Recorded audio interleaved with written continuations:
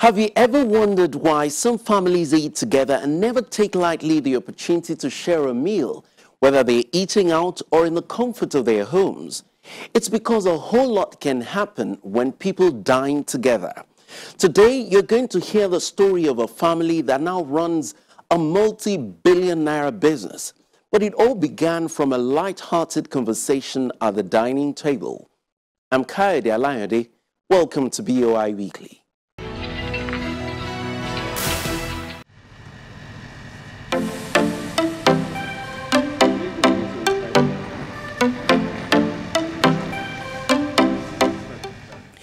Banrut Rolls Nigeria Limited, a subsidiary of Banrut Enterprises Limited, was commissioned in June 2008 to manufacture various kinds of tissue paper products for the Nigerian market and the West African sub-region.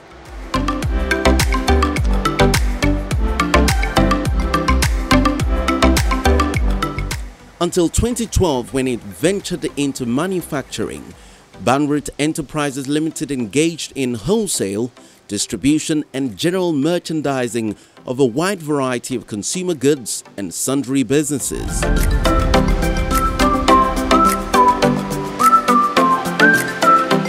Leading on sophisticated technology, Banrut Rolls caters for the huge demand of high-quality hygiene products in the various socio-economic categories of the Nigerian market.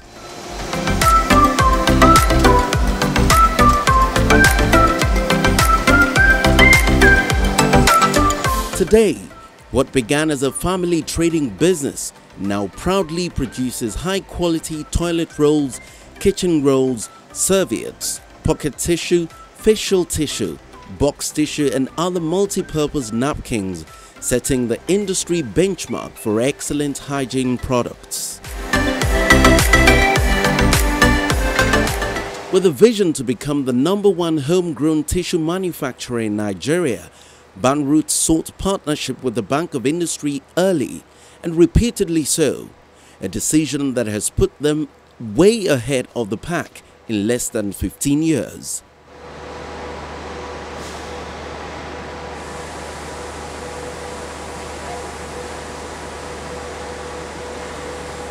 Although Banrut's long-standing partnership with the Bank of Industry has now become a reference point, the BOI state manager in Abuja Mrs. Ogo Akabogu, who's been part of the engagement from day one, admits that the partnership wasn't exactly rosy at the beginning because BOI needed to do its own due diligence to prove the concept.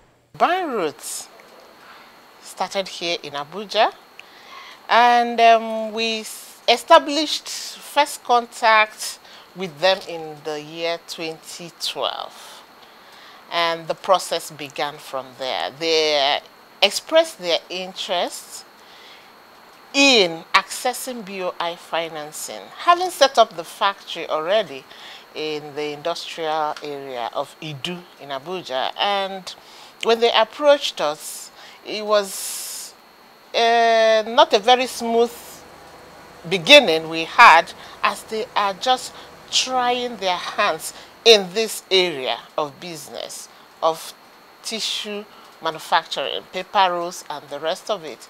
We are also, we were also cautious that they have what it takes to be able to succeed in this business. And that is why at that place, it was a, like a relationship that everybody is trying everybody to see. What are the things you have that you're coming on board with that will make sure that this business that as viable as it sounded, will be profitable and sustainable. But eventually, when they understood us and we took our time to also understand the business they do and they want to embark on, the drive and the passion of the chief promoter sealed the deal for us. We were sure that he was committed to this project and we couldn't let him rest from then on we continued pushing until about 2013 when eventually we disbursed the first loan to them and the relationship has been blissful ever since. So why exactly did the Bank of Industry invest in Banrut? We were looking at import substitution. prior to that moment, we've had tissue papers, paper rolls everywhere in our shelves, but majority were imported. Not very many people were encouraged to go into production. And BOI being the development financial institution that it is, focused on such, decided that we must see that this company succeeds. Already the market is there. It may not be very competitive at that stage. The profit may be very thin at that stage because of the effect of importation of tissue rolls into the country. However, their emergence into the scene with other manufacturers has proven that if we put our minds to it and the necessary support and infrastructural support are given to investors, we will be able to make sure that Nigerian products dominate our shelves. Even though the man who was there at the beginning, Prince Samson Atairo, chairman and chief executive, is not available to tell the story himself, his daughter, Mrs. Adebola Atairo Adefila, currently serves as the chief operating officer. It's clear she not only knows the story, she very well understands the plot. So, Banrut is a family business and we've been, um, we've been existing as a family business for more than two decades now. Um, and we've, you know, tried our hands on a lot of businesses, importation, trading, um, a little bit of real estate, haulage, and now manufacturing. The manufacturing arm is close to 14 years now. And I'll say I was born into a family of business. So business is always what I've always known, and that's always I've always seen um, in the family. So it came naturally to me to just know that business was something I was going to do. Um, but the, for the manufacturing, um, it started off as a very, very informal, you know, discussion in the in the family, where where I, I think it was on our dining table, and at the time, the president, I think it was President Olusegun Obasanjo, who was in power at the time, and he had placed a ban on few items. And my brother walked up to me. At the time, I was on the importation side of the business, importation and trading. And my brother walked up to me and said, don't you think you should take the business of the family a notch higher? And I was like, you know, a notch higher how? I wasn't thinking manufacturing at all. And I was like, I think you should just stop this thing about bringing um, other people's goods and just coming to dump here and you're selling. He said it in a in a bit of a condescending manner that looked like, hey, are you saying I'm joking here or we're not doing serious business here? And he was like, no, I just think we've done this for a while. I think it's time for you to do something else. And while we're talking, and he was like, have we even talked about manufacturing? And I was like, manufacturing? It didn't occur to me that, I, I didn't even think about it. And while we're um, deliberating on that and just still having just a very informal conversation, um, he said, okay, how about toothpick?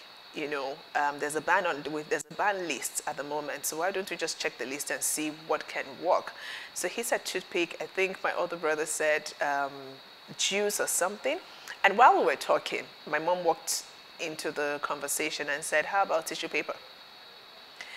And at that time, it just sounded like you know, like light bulb you know, when somebody comes in and says something and all the other ideas are just thrown out of the window, like, oh, tissue paper makes sense. Okay, it doesn't expire.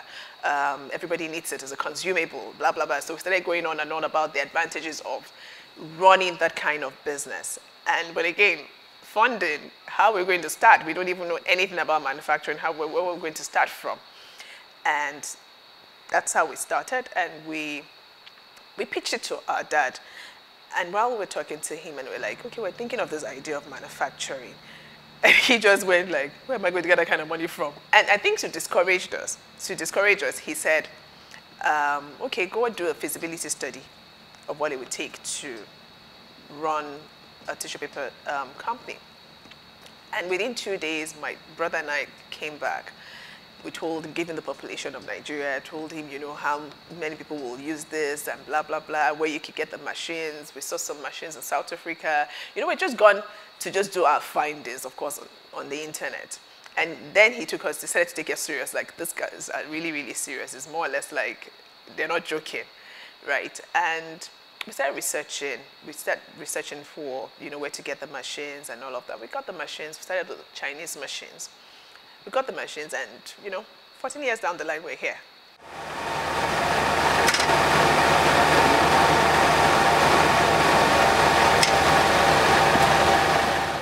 Once Banrut decided to go in the direction of tissue paper conversion and manufacturing, there was no looking back. They began developing very high quality and interesting line of products that people can use every day and everywhere. Um, so Banrut Rolls Nigeria Limited is a manufacturing um, company that produces tissue paper.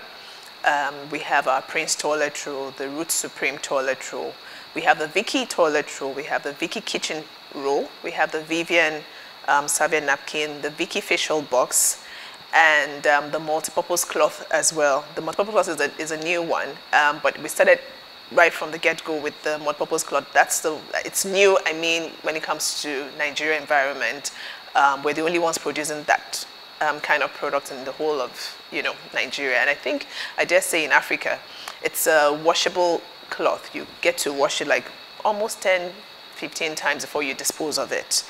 Um, so that's that about our product um, profile. We're all about hygiene. And when we're going to start the business, we thought to ourselves that we wanted to do something premium, something good. We, of course, there were other tissue papers in the market. We didn't want to have a low graded um, quality. So we wanted a situation where we're able to um, give you good product that is at par with international brands.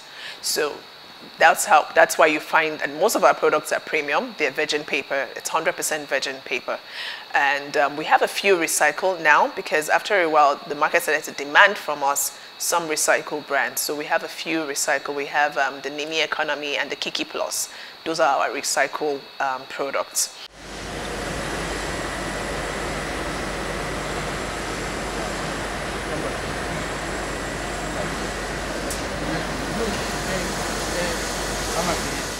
This is our one of our primary raw material.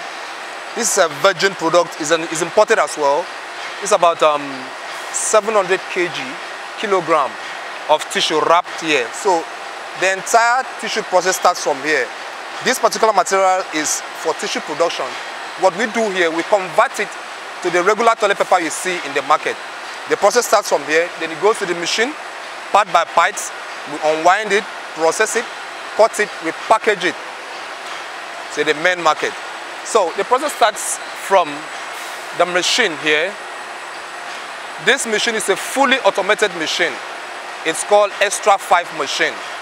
This machine runs on 350 meters per minute. From that, we process it to the Luxor machine. What it does, it cuts the tissue to different sizes that we want to cut.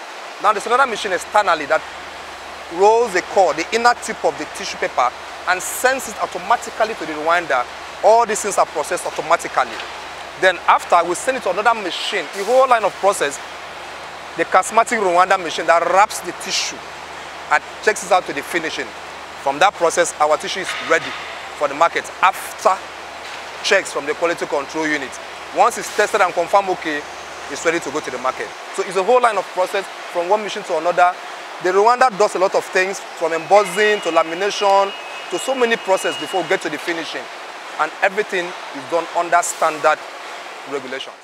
Are you an SME operator in Nigeria? Do you want to upskill and learn proactive strategies that would help drive your business forward, especially during this COVID period? Then you need to register for the 2021 SME Academy. Leading consumer goods company Procter and Gamble P&G in partnership with the Federal Ministry of Industry, Trade and Investment FMITI and the Bank of Industry BOI is set to hold a virtual SME Academy program. This sophomore edition will take place virtually on Friday by February 12, 2021 by 10 a.m. This program will train over 300 SME operators on basic business skills to improve their standards, sustain their business, and facilitate their integration into global value chains. Participants are expected to meet the following criteria. Must be duly registered with the Corporate Affairs Commission CAC. Must operate within one of these sectors agri, food, solid minerals processing, light manufacturing, healthcare, ICT, and engineering. Must have been operating for a minimum of three years. Must have good credit history, equal opportunities for women and youth within the company. If you ticked all the checklists, then the SME Academy is for you. To register, visit www.boi.ng.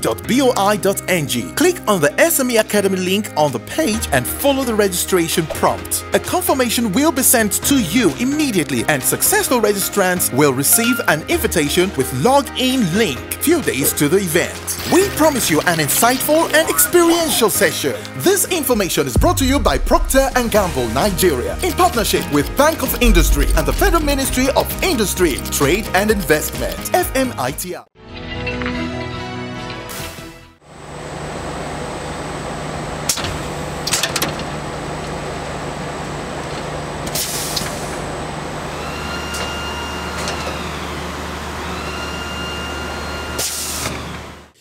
The Bank of Industry has invested in Banrut Rolls Nigeria Limited no fewer than four times in the last eight years or less, in a sum hovering around a billion naira. At each stage of intervention, the Bank of Industry has deployed tailor-made support from its bouquet of intervention funds, pushing them to the zenith of the industry. We've been on this journey with them and they keep accessing financing over multiple times right now. And they have accessed the Bank of Industry loan under the BOI funding. They have also accessed the African Development Bank funding, which is a fund that we are managing from the African Development Bank. So it was it came cheaper and at that point, they required that financing, and we had to do that to also support their business further. So three times they have access from Bank of Industries funding and then from the ADB funding. So those are the funds they have accessed. Of course, they've also accessed our working capital. Like you mentioned, their raw materials come from abroad, so they have to import, and then we've been supporting. In the last 14 years of operation at Banrut Rolls Nigeria Limited, it's been a mixed bag of cloudy days and sunshine, and the Bank of Industry has remained there through the thick and thin, and the results speak volumes. From increased production and distribution capacity to job creation. So there are times when, as an entrepreneur on a journey, right, there are days, it's a potpourri of all sorts. You know, there are days when you feel like, gosh, I got into the right game. And there are days when you just feel like, who sent me here? what was I thinking? Why did I do this? Right? Um, so starting Banrut, um, now Banrut, the manufacturing arm, we started off with what we could afford. Of course, we couldn't afford the kind of machines you see on the factory floor today. So we started with the basic. We just wanted to just, you know, we, when we started, we just had the north in mind. in mind. It was just more or less Abuja and environs. We were not even thinking southwest. We're not thinking the east. We were just like, let's start in our backyard and just start however we can start. So we started with the, with the basic um, Chinese machines. And we're able to run that for the first five years of the business. Getting to the fifth year of the business, we started to realize that we needed to upgrade our machines. Our machines need to be more techy, you know, more advanced, because what we could, um, our production then wasn't able to cater for the demand. And this was a business, this was a space or a market where you already had, you already, you had big players already, and coming in there, you didn't think you were going to be that accepted you know, we thought of only the north. We said, okay, you know what, we're going to produce only for Abuja and environs. But after a while, two, three, four, five years down the line, other states started to demand for the products. And that was when we realized, okay, you know what, we need to upgrade our machines. And of course, upgrading the machine cost an arm and a leg. And we knew that the next thing to do was to go um, loan shopping. And while loan shopping, we found out that BOI was going, just going to be the next um, favorable place to go to. And we got, we got a loan from BOI to upgrade our machines. We're able to upgrade. And after the upgrade, it didn't take, it took us less than three years to um, be available nationwide. So as we speak, we have distributors in all the 36 states of the Federation. There are some states where you have two, three distributors, some have four, some have seven distributors, depending on how large um, the state is. I'll say when we started out in the business, let's even start from the staff strength. We had a staff strength of about 35 people. Um, by the time we're going to um, get the loan from Bank of Industry, after getting the loan from Bank of Industry, we installed the machines and we started to use our machines. Our market reach increased from seven states to 18. Like the first, the first um, tranche of um, loan that we got from Bank of Industry, we moved from seven to 18 in less than two years of getting the loan. And I'll give you um, figures. So there's, but let me say for a particular product, there's a particular product that we, we were, before the loan, we were producing maybe 5,000 bundles in a month. But by the time we got the loan, we got one machine that was producing 19,000 bundles a month. Meaning you're now having extra 14,000 bundles. So you have a good problem, which is sales. So how do you now market the extra 14 bundles?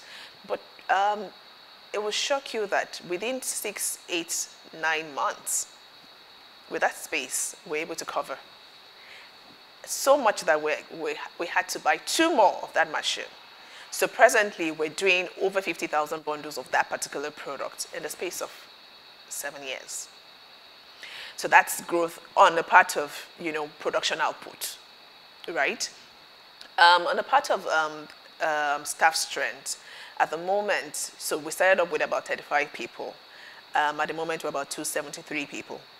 Effective distribution is key to the tissue paper business, and Banrut runs an effective and robust web of distribution system across the country. What's more, their doors are wide open to absorb more qualified distributors. We have um, about 45 distributors and when I say 45, they are spread across the regions. We have distributors in southeast, we have in the south south, we have in north central, we have in the southwest, and we have in uh, FCT. And just like I said before, distributors, it depends on the demand. Like in places, there are some states where you can actually have in a state, you can actually have more than one. Like places like Port Harcourt, where we have high demand of our products. Places like Warri. Then there are places where you can, because of the size of the market, you can't have more than one to give them room to, to turn over quickly. We, we communicate to the public the need for distributorship. And when any prospective uh, indicates interest, we have a sales rep almost in all over the states. So what we do is to send a representative to go and you know meet up with the distributor. We assess the capacity of the distributor. We check the storage capacity. We check the distribution channel because we, we expect you to have space to store because our product is is voluminous. Uh, so we expect you to have a storage space, then we expect you to have at least your own channel of distribution. There are, it will get to a stage where we come in, but you know, initially we expect you to already have your channel of distribution. We expect you to at least have a van and have some sales representatives that help to distribute. Many local companies have taken shots at succession planning, especially on the family level but have failed at it. Not so with Banrut. Mrs. Adebola Tairo Adefila has been functioning in the capacity of Chief Operating Officer of the company in the last three years.